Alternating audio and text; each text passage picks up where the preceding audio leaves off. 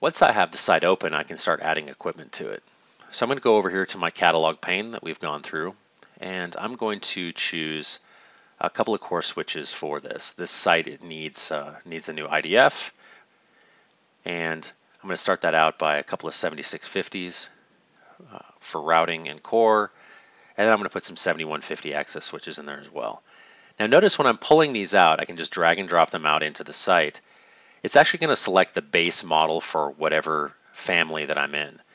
So I'm actually not planning on using these 7150 C08Ps, but they're really placeholders right now. And after I can go in here, if you notice over here on the properties that we've gone over before, what it's doing is it's just, going to select the base switch in that family, and then I can go down and I can uh, choose a different one if I'd like. So for example, for these, I'm going to be choosing uh, a different model, a little bit more upgraded. It's got some uh, additional features. And notice in the actual site itself, these switches are changing the icon that represents them, as well as the name that they have here. I can just as easily, if I wanted to add another switch here, I can copy and paste. If I can Control C, Control V, and it's going to bring that switch out. And then I can put it here if I'd like. And like we went over before, each one of these switches, when I highlight it, the properties pane is going to change to represent that particular switch. For example, these 7650s that I brought out, I have some different models and some different pre-configured bundles um, that I have available to me. In this case, I like these pre-configured bundles down here. So they have some redundant power supplies. These are nice to build a network with, as well as any licenses that I would need. Now this side I am going to be needing the layer 3 premium license. Uh, I don't need MACsec right now. And then I have different options as far as the slots.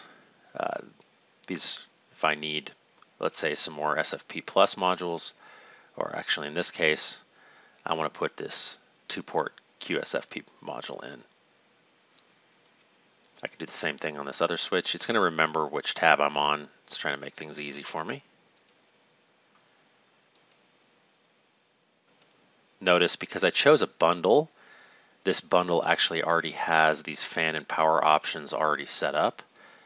Um, if I chose a bundle that, that didn't have those, or if I didn't choose a bundle and just chose a base model, I would need to select these. But I can continue to go down here. In fact, actually for this site, I actually would like to add um, a SmartZone to manage these switches and maybe some of the APs that I'm going to be adding later. Much like the switches, when I add the SmartZone, it's going to add the base model. And then I can look in here at the different models that are available and see if there's uh, another one that would actually do the trick.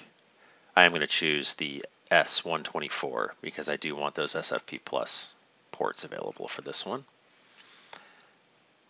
And notice as I bounce around between these different switches, I do have different options available, but I can kind of pick up wherever I left off depending on where I'm working at the time. In the same way that I can add equipment very easily, I can also delete it very easily. I can either highlight and click the delete key on my on my keyboard or I can right click and hit delete right here.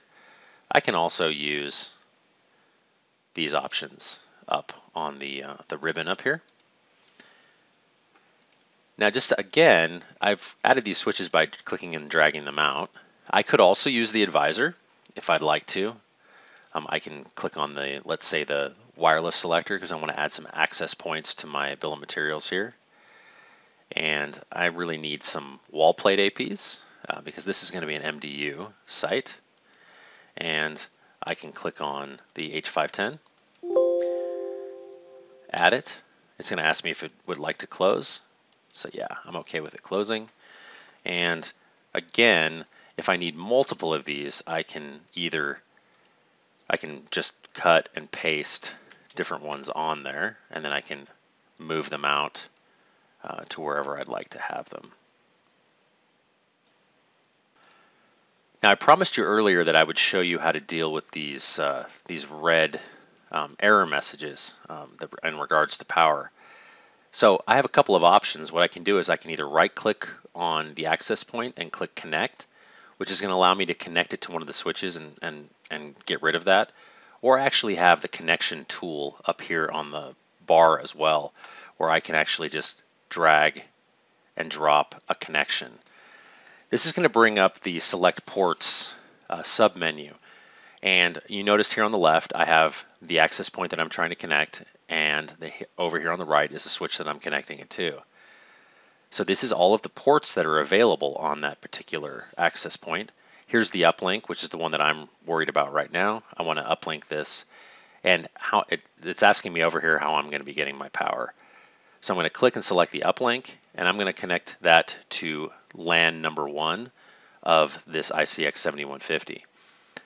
Down here, it's going to quiz me a little bit on the cable length um, and the type of cable that I'm going to be using, just to make sure that I'm within spec and it's going to be actually delivering enough power. If I click the connect button and then I click close, as you notice, that has now been connected to that switch. Of course, you're, you're thinking right now, why didn't the message go away? Well, this switch actually doesn't provide any power. And so this is, again, I'm highlighting a bit the, the different um, validation that you can get from the Iris tool. This has happened to partners before where somebody is in a hurry and they choose a switch and they forget that they ch didn't choose one that actually provides power. So I've connected it and it hasn't gone away. So now this is highlighting to me that I have an issue that I need to deal with here. So I'm going to click on this switch and I'm actually going to go into the um, the properties here and I'm actually going to find, oh, that's right. I actually need the 24P because the P signifies power. So I'm going to do that. I'm going to change that to a PoE switch. And while I'm at it, I'm actually going to change the other one to a PoE switch as well. So now when I come in here, I can highlight this connection and delete. And I can start that process again using the connection tool.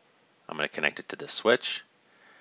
I'm going to select the uplink and I'm going to select one of the connections over here and click connect and close. And now you notice that this AP is now very happy because it's actually being supplied power from a power over Ethernet switch. So now I'm going to repeat that process for the additional APs that I have. Going to click up again here on the ribbon at the connector tool. Just drag and drop to the switch that I want to connect to. I want to select the uplink of this H510 and connect it to the LAN port here. If I just click LAN and I don't drill into the actual specific port, it'll just choose the next one that's available. Or I can actually click on the particular port that I want to use depending on how detail oriented I want to be. Click connect. You notice that now that AP is no longer giving me a message that it requires power.